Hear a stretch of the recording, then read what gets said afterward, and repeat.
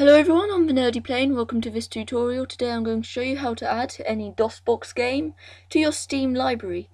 Um, what you're firstly going to want to do is right click your DOSBox shortcut and then go up to this create shortcut bit. Or you can also click on send to and then choose desktop create shortcut. You're going to want to get that shortcut and uh, rename it to whatever game you have.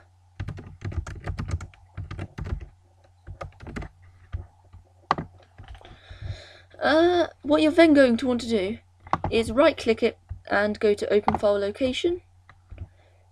Choose this DOSBox 0.74 options file um, and open it.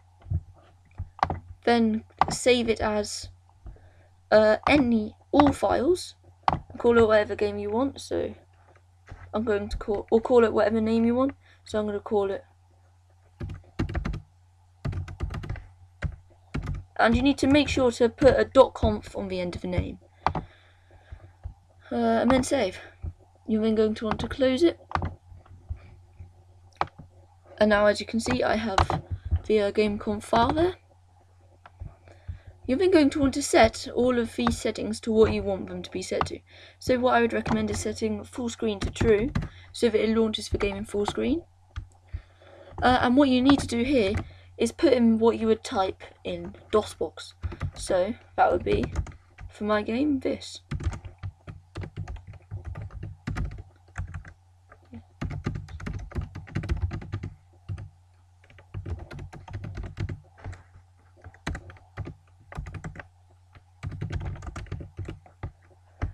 Uh, you then want to go up to File and Save. Now, you don't have to put these files on the desktop, you can put them anywhere on your hard drive. You're then going to want to right click your game shortcut, go over to properties, and then go space minus conf, and then these marks, and then where you've saved the uh, conf file to. So if it's on the desktop, that would be c colon backslash uh, users backslash your name, your username, and then the name of the file, which is gameconf,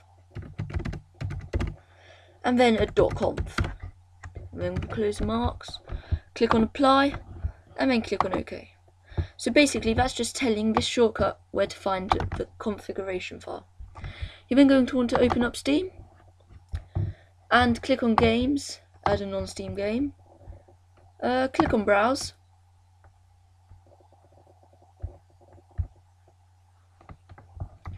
uh, go to wherever you saved this shortcut to, choose it, then click on add selected programs. And as you can see here, I now have my Amulets and Armour shortcut in Steam.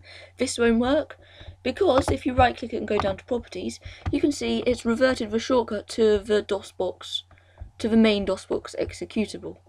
So what you want to do is go to change, um, click on all files and then go over to uh, wherever you saved that shortcut, wherever you have that shortcut.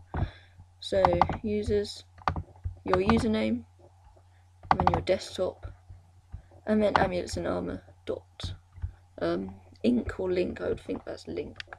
And then click on open. As you can see, it's now changed it. Um, and click on close. So now when I play this,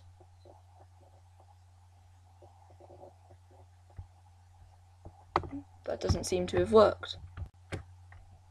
Now the reason why it didn't work was because I forgot to put a desktop after Conan, so I'll put that in there, then backslash, and then click on apply, and OK. So then this time, it should work.